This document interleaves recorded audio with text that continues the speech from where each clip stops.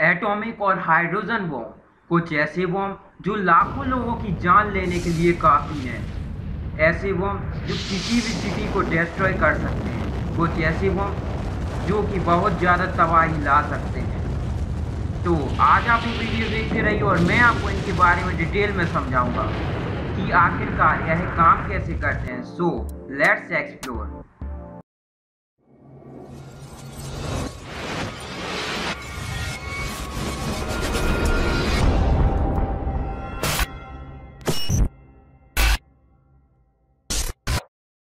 तो एटॉमिक और hydrogen bomb के बारे में बात करने से पहले मैं आपको एक बेसिक नॉलेज देना चाहता हूँ। आप जानते होंगे, जैसे कि कोई एटम है, उसके अंदर इलेक्ट्रॉन, प्रोटॉन, न्यूट्रॉन, ये सारी चीज़ें पाई जाती हैं। न्यूक्लियस भी पाया जाता है। न्यूक्लियस जो है वो एक पॉजिटिवली चार्ज होता है।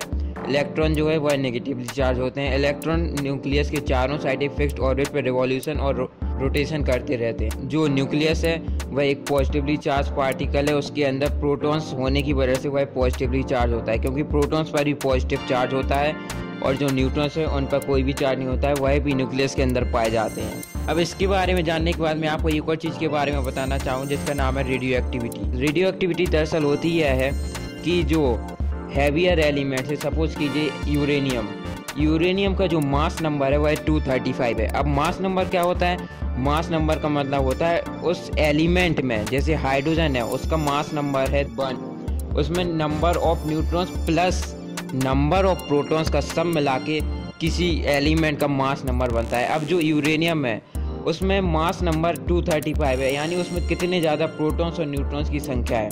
अब जो न्यूट्रॉन्स और प्रोटॉन्स हैं, प्रोटॉन्स पॉजिटिवली चार्ज पार्टिकल्स होते हैं, अब प्रोटॉन्स इतने ज़्यादा किसी न्यूक्लियस के अंदर होने के कारण उनमें एक प्रोटॉन प्रोटॉन रिपल्सन होने लगता है। और जो न्यूक्लियस है, वह एक बाइंडिंग एनर्जी से बाइंड रहता है। लेकिन प्रोटॉन प्रोटॉन रिपल्सन की वजह से वह जो न्यूक्लियस है, वह डिस्ट्रॉय हो जाता है। तो इस फिनोमेना को हम रेडियो एक्टिविटी कहते हैं। और जब ये न्यूक्लियस डिस्ट्रॉय होता है तो इसमें से इतने ज़्यादा रेडिएशंस निकलती हैं, जैसे कि alpha beta gamma positron neutron, कई तरह की रेडिएशंस और पार्टिकल्स निकलते हैं किसी केमिकल रिएक्शन की वजह से। तो इसी फिनोमेना पे कुछ एटॉमिक और हाइड्रोजन बॉम्ब भी काम करते हैं। चलिए अब हम उनके बारे में भी जान लेते हैं। तो चलिए सबसे पहले हम लोग बात कर लेते हैं एटॉमिक बॉम्ब के बारे में। एटॉमिक बॉम्ब में दरअसल होता क्या है? जब एक हैवी न्यूक्लियर जैसे कि यूरेनियम है, जब वह रिएक्शन करके दो छोटी न्यूक्लियाई में टूट जाता है तो इसमें से इतनी ज़्यादा एनर्जी रिलीज़ होती है कि वह एक सिटी को तबाह कर सकती है। आप स्क्रीन पर एक रिएक्शन देख पा रहे होंगे यूरेनियम 235 अब यूरेनियम 235 यूरेनियम का ही आइसोटोप है। आइसोटोप दरअसल जिसमें एटॉमिक नंबर तो सेम रहा, लेकिन मास नंबर डिफरेंट है, उसे आइसोटोप कहते हैं। अब आप इसकी रिएक्शन जब न्यूट्रॉन से कराते हैं तो यूरेनियम 236 में चेंज हो जाता है, और साथ में दो लाइट डॉटर न्यूक्लियाई रिलीज़ करता है। कोई भी डॉटर न्यूक्लियाई यानी जिनका मास नंबर कम है यूरेनियम 235 से। यह जो दो डॉटर न्यूक्लियाई के साथ दो या तीन न्यूट्रॉन रिलीज़ होते हैं। अब इस रिएक्शन का यूज़ जो है, वह पावर प्लांट्स वगैरह में यूज़ किया जाता है। इसमें होता क्या है कि ये जो न्यूट्रॉन रिलीज़ हुए हैं, यह जाके यूरेनियम 235 के सैंपल पर वापस अटैक करते हैं और वापस और न्यूट्रॉन्स रिलीज़ होते हैं इस तरह से। और फिर फिर से वो न्यूट्रॉन्स यूरेनियम 235 के सैंपल पर अटैक करते हैं, वहाँ फिर और न्यूट्रॉन्स रिलीज़ होते हैं। ये कंटिन्यूसली चलती जाती है और इस रिएक्शन को रोकने के लिए कैडमियम रॉड्स का यूज़ किया जाता है, क्योंकि जो कैडमियम रॉड्स होती हैं, वह न्यूट्रॉन्स को एब्जॉर्ब कर लेती हैं, जिससे रिएक्शन आगे नहीं बढ़ पाती। और अगर आप यूरेनियम 235 के सैंपल को भी हटाते हैं तो जो न्यूट्रॉन्स रिलीज़ हुए हैं वह वापस यूरेनियम 235 पे सैंपल पे अटैक नहीं कर पाएँगे, जिससे यह रिएक्शन रोक सकती है। तो इस रिएक्शन का यूज़ दरअसल एटॉमिक बॉम्ब में भी होता है।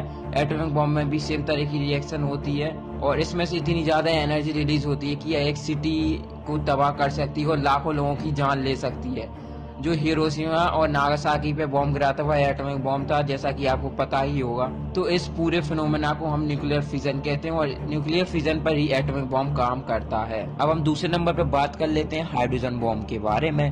हाइड्रोजन बॉम्ब में दरअसल होता क्या है, जब एक दो छोटे लाइट न्यूक्लियाई फ्यूज करा के एक हैवी न्यूक्लियाई में कन्वर्ट किए जाते हैं तो इसमें से इतनी ज़्यादा डिवास्टेशन में एनर्जी निकलती है कि यह सिटी को क्या एक पूरी स्टेट को तबाह कर सकती है।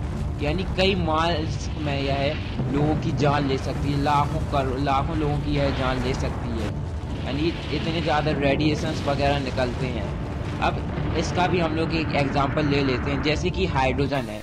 हाइड्रोजन का एक आइसोटोप है ड्यूटोरियम और एक आइसोटोप है ट्रिटिनियम अब इसमें होता क्या है कि ये दोनों रिएक्ट करके जब हीलियम में कन्वर्ट होते हैं और साथ में एक न्यूट्रॉन रिलीज़ करते हैं, इसमें इतनी ज़्यादा एनर्जी रिलीज़ होती है कि मैं जैसा कि आपको बता चुका हूँ कि एक पूरी स्टेट को भी तबाह कर सकती है। तो इस तरह से हाइड्रोजन बॉम्ब काम करता है। इसमें दो छोटे न्यूक्लियाई, बड़े हैवी न्यूक्लियाई में कन्वर्ट होते हैं और इस फिनोमिना को हम न्यूक्लियर फ्यूजन कहते हैं। तो मैं अब आपको बता देता हूँ कि एटॉमिक और हाइड्रोजन बॉम्ब में से कौन सा बॉम्ब सबसे ज़्यादा तबाही ला सकता है। तो जैसा कि आपको पूरे डिस्कशन के बाद पता ही चल गया होगा, हाइड्रोजन बॉम्ब सबसे ज़्यादा तबाही ला सकता है क्योंकि जो हाइड्रोजन बॉम्ब है, अगर वो किसी सिटी पर गिराया गया तो उसका मतलब है एक लाख किलोटन ऑफ़ टीएनटी उस सिटी पर गिराया गया है।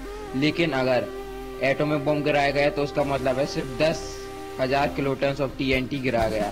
यानी हाइड्रोजन बॉम्ब कितना ज़्यादा तबाही ला सकता है। तो दोस्तों, मैं उम्मीद करता हूँ कि आपको यह वीडियो पसंद आया होगा। अगर आपको यह वीडियो पसंद आया तो इसे लाइक और शेयर करना मत भूलेगा और नीचे कमेंट बॉक्स में लिख के बताइए कि आपको हाइड्रोजन और एटम बम के बारे में इतना डिटेल में बताता।